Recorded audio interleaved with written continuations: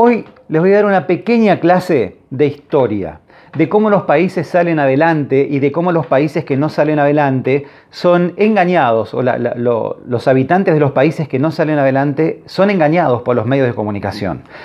Van a ver una historia que no la pude publicar antes porque estuve prohibido, me bloquearon en Facebook, pero esta historia eh, está relacionada con el Día de la Madre, porque es una, una fábrica que te, dice que para el Día de la Madre en otro momento florecían de laburo y ahora están en la lona, pero no solamente se trata del Día de la Madre, es una fábrica de zapatos en la Argentina, no importa el lugar, pero presta atención, escucha. ¿Qué tal José? Buen día.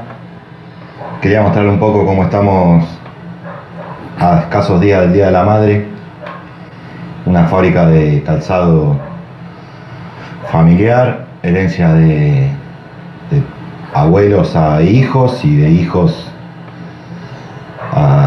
hijos. Estamos acá completamente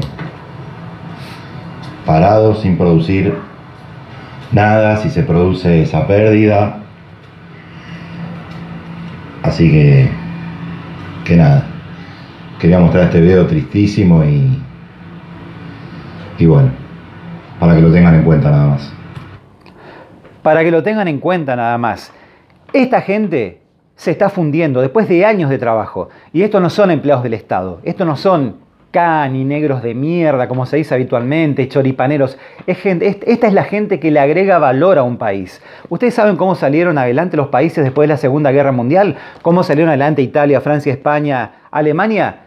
con mini pymes, con empresas pequeñas como esta, así, mini pymes familiares, gente que hacía un trabajo, me contrataban a mí para que haga un trabajo, yo hacía ese trabajo tranquilamente, lo hacía el trabajo, después resulta que la máquina con la que yo trabajaba era una máquina que tranquilamente la podía comprar.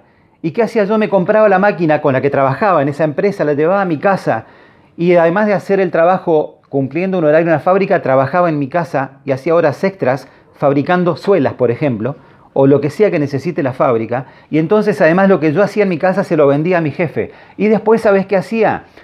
A esa máquina se la enseñaba a mi hermano, a mi hermana, a mi mamá, a mi papá, a manejarla, a producir y mientras yo trabajaba en la fábrica, estos también trabajaban en mi casa.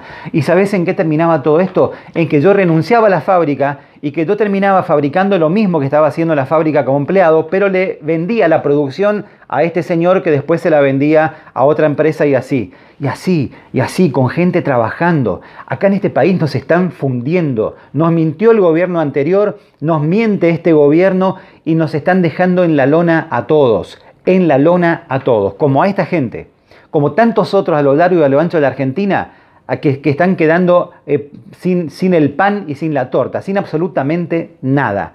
Los ricos cada vez más ricos, los pobres cada vez más pobres y los que estaban ahí colgados de la clase media se están cayendo a pedazos. Es responsabilidad de todos nosotros informarnos.